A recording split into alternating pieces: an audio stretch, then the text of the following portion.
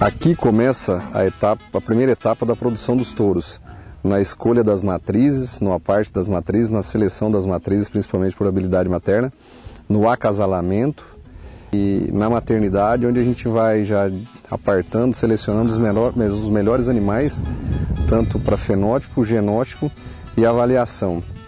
E a partir daí a gente faz a recria e prepara os animais para o leilão. Então é todo um processo para a escolha desses animais, para tornarem esses animais aptos ao leilão é, que participamos. Então vem toda a, a parte de, de, de, seleção rústica aqui na fazenda, a vaca que emprenha bem, que pare bem, em condições é, extensiva, né?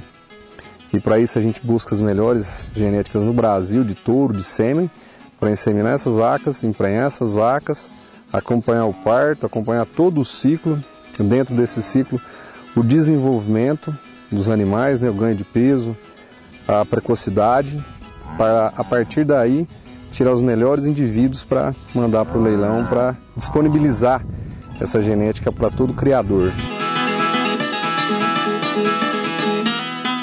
Dentro do processo de seleção aqui no Nelore de Gênio, outra característica também que a gente leva muito em consideração é a docilidade do gado. Essa parte de temperamento, isso também é um critério de seleção e, e descarte nosso aqui quando o animal não está dentro do, do padrão desejado. Então por isso a gente mantém os animais bem costeados, animais dóceis, animais que não terão problemas em outras propriedades quando chegam para cumprir seu papel de reprodutor. Então são animais já selecionados para temperamento.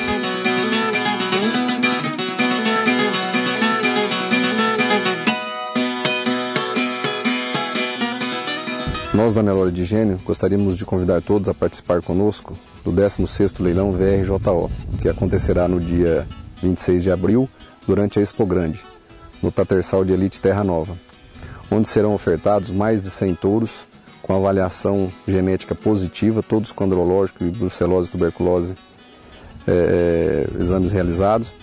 E estamos levando o que tem de melhor na fazenda para os clientes.